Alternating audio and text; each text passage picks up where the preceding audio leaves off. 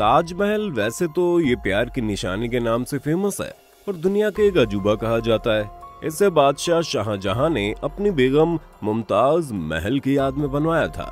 संगमरमर से तराश कर बनवाया गया खूबसूरत अजूबा अपनी नक्काशियों में दुनिया भर के नायाब पत्थर संजो कर रखता है। उस समय लगभग तीन करोड़ की लागत से इसे बनवाया गया, लेकिन इसके बावजूद हम इसके बारे में बहुत कुछ ऐसा है जो नहीं जानते। बहुत सी ऐसी रहस्यमयी बातें हैं, जिनके बारे में हम इस वीडियो में बताने जा रहे हैं। इसलिए आखिर तक बने रहना। बिक गया ताजमहल। ताजमहल के बारे में एक इंटरेस्टिंग फैक्ट ये भी है कि हमारे देश के एक ठग ने इसे बेचने की कोशिश की और बेच भी दिया। ये शख्स बिहार का था और दुनिया इसे नटवर लाल के नाम से जानती थी, क्योंकि इतना बड़ा ठग था कि इसने ताजमहल को मंदिर बताकर दूसरों को बेच दिया। उसके इसी कारनामे की वजह से इसके गाँव के लोग इसका मंदिर बनवाने की भी मांग उठा रहे हैं। ताजमहल की नींव। ये सवाल तो आपके मन में भी उठता होगा कि आखिरकार ताजमहल की इस मजबूती के पीछे रहस्य क्या है? चलिए आज के सीक्रेट को हम रिवील करते हैं। एक नदी जिससे हम जल पीते हैं और उससे जीवन प्राप्त करते हैं, इसलिए हम उसे माँ मानते हैं। ताजमहल का भी यमुना के साथ कुछ ऐसा ही गहरा रिश्ता है, जिसे हम माँ और बेटे का रिश्ता कह सकते हैं। यमुना नदी माँ की तरह आज भी ताजमहल की जड़ों में अपना पानी पिला रही है। दरअसल ताजमहल की स्टेबिलिटी का सीक्रेट ये है कि ताजमहल की नींव में एक विशेष तरह की लकड़ी का इस्तेमाल किया गया है। इबोनी आबनूस की लकड़ी बहुत ही मज़बूत होती है।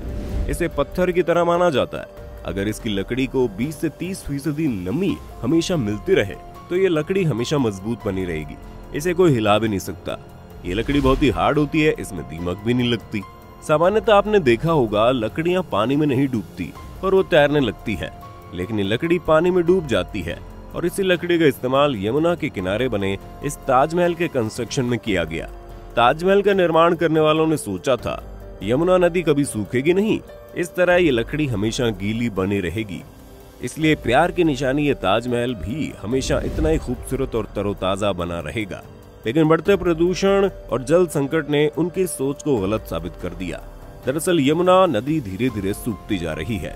और अगर सच में ताजमहल के किनारों से यमुना नदी सूख जाएगी तो लकड़ी पर नमी नहीं रहेगी तो ताजमहल के अस्तित्व को खतरा पैदा हो जाएगा। मुमताज़ की कब्र पर टपकता पानी, पूरा का पूरा ताजमहल काफ़ी खूबसूरती से बनाया गया है और इसकी खूबसूरती भी देखते ही बनती है। लेकिन इस ताजमहल में जहाँ मुमताज़ महल को दफनाया गया है उसके कब्र पर छत से पानी टपकता है। ये पानी कहाँ से आता है और किस तरह कब्र के ऊपर ही गिरता है, ये रहस्य आज भी किसी को समझ नहीं आया। इसलिए इसे लेकर कई कहानियाँ प्रचलित है। इनमें से कहानी ये है कि जब शाहजहां ने कंप्लीट हुए ताजमहल को देखा तो वो बड़ा खुश हुआ। उसके दिमाग में ख्याल आया कि कहीं ये कारीगर दुनिया में दूसरी जगह जाकर एक और ताजमहल ना बना दे, इसलिए उसने कारीगरों के हाथ कटवा दिए। जब सभी कारीगरों के हाथ काटने के लिए शाहजहां ने हुक्म दिया तब इन कारीगरों ने ताजमहल में एक छोटा सा नुक्स छोड़ दिया। इसकी वजह से यहाँ मुमताज़ महल की कब्र बनी थी, वहीं पानी टपकता है। शेडो ताज जहाँ एक और शाहजहां ने अपनी बेगम मुमताज़ के लिए ताजमहल का निर्माण करवाया। तो वहीं दूसरी तरफ़ उसने अपने खुद के लिए भी ठीक वैसे एक ताजमहल बनवाने का डिसीज़न लिया। लेकिन वो ताजमहल काले रंग के पत्थरों से मिलकर बना था। उसकी पूरी योजना तैयार हो गई थी। शाहजहां के टाइम पीरियड में यूरोप से चलकर एक ट्रैवलर हिंदुस्तान आया था। उसने भी अपने आर्टिकल में इस काले रंग के ताजमहल का ज़िक्र किया है। इसके अनुसार शाहजहां यमुना के किनारे काले रंग का ताजमहल बनवाने जा रहे हैं। दरअसल मुमताज़ को लेकर शाहजहां की दीवानगी इस हद तक थी कि वो अपने आप को उसकी परछाई मानता था। शाहजहां चाहता था जिस तरह उसकी बेगम की कब्र इस सफ़ेद संगमरमर के बने ताजमहल में बनी है, उसी तरह उसकी अपनी कब्र इस काले रंग के ताजमहल के भीतर बने। लेकिन इससे पहले कि दूसरा ताजमहल बन पाता शाहजहां की सल्तनत समाप्त हो गई। उसके बेटे औरंगज़ेब ने उसे गिरफ़्तार कर लिया और खुद गद्दी पर बैठ गया। औरंगज़ेब का मानना था कि सरकारी पैसे से मकबरा बनाना ठीक नहीं है, इसलिए उसने इस ताजमहल के काम को रुकवा दिया और ये ताजमहल शाहजहां के सपने में ही बनकर रह गया। बाद में शाहजहां की मृत्यु के बाद औरंगज़ेब ने अपने पिता की कब्र, मुमताज़ की कब्र के बगल में सफ़ेद संगमरमर के ताजमहल में ही बनवा दी।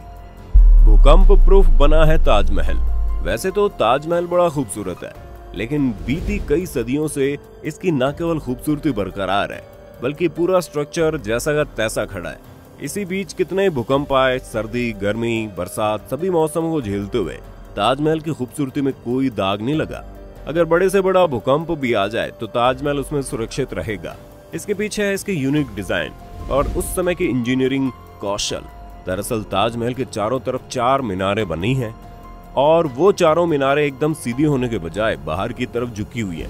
जिससे यदि भूकंप आता है तो ये मीनारे ताजमहल के ऊपर न गिरकर बाहर की तरफ़ गिरेंगी।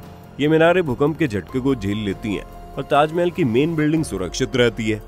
ताजमहल के बारे में जितना भी लिखा जाए कम है। इसकी खूबसूरती का जितना भी बयान किया जाए, वो कम ही पड़ता है। लेकिन इसके सीक्रेट्स भी अपने आप में एक इंटरेस्ट क्रिएट करते हैं। छिप गया ताजमहल।